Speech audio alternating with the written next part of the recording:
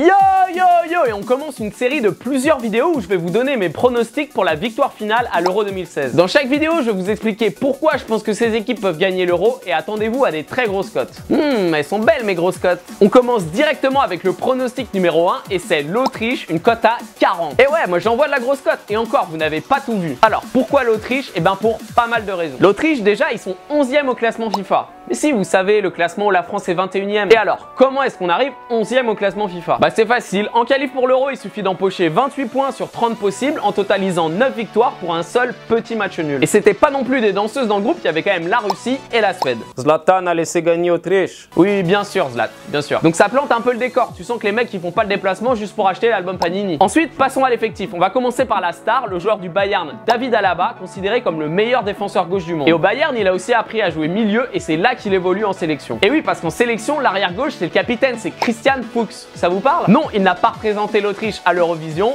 Non, il ne vient pas d'être le premier élu écolo d'Autriche. Mais je suis sûr que ça vous parle. Il joue dans un tout petit club en Angleterre. Un truc un peu rustre avec peu de moyens, des campagnards un peu. Voilà, Leicester. Et c'est un des meilleurs joueurs de Leicester. Et rien que pour avoir une cote encore plus élevée pour l'Autriche, j'aurais préféré qu'on n'entende pas trop parler d'eux cette année. C'est un peu la même chose pour Stoke City et son meilleur buteur Arnautovic qu'on retrouvera dans les rangs autrichiens. Et il a marqué plus d'un quart des buts de Stoke cette année, c'est énorme. Ouais, je suis d'accord, Arnautovic, ça fait plutôt nom inventé pour une série télé sur la mafia bosniaque, mais c'est pas grave, c'est qu'il plante. Et pour l'aider à planter, il aura l'aide du joueur du Verder, Zlatko Junuzovic. Et ouais, Junuzovic qui a fini deuxième meilleur passeur de Bundesliga cette année. Retour en défense avec Alexander Dragovic, et c'est pas un Pokémon, c'est un joueur de très haut niveau qui a été en huitième de finale de la Ligue des Champions cette année avec Kiev. Et Manchester a proposé 21 millions au mercato hivernal pour lui, donc croyez-moi, entre lui et Fuchs, derrière, ça va tenir la baraque. Et je vous ai gardé une pépite pour terminer la présentation de l'équipe.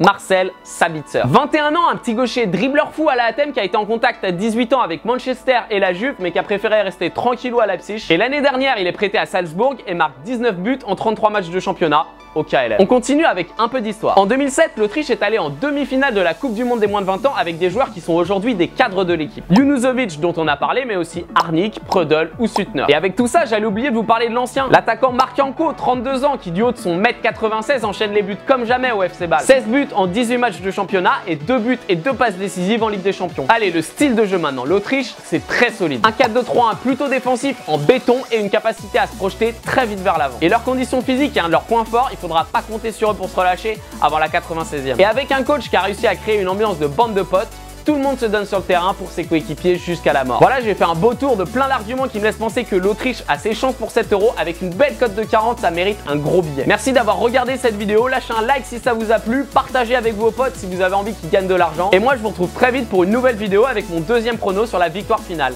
Ciao note d'ailleurs une étrange rencontre, Autriche-Hongrie, qui nous permettra de revisiter l'histoire. C'est en 1914 que l'archiduc d'Autriche-Hongrie, François Ferdinand... Ferme ta gueule Hein? Ferme ta gueule Ok, revenons à la compète.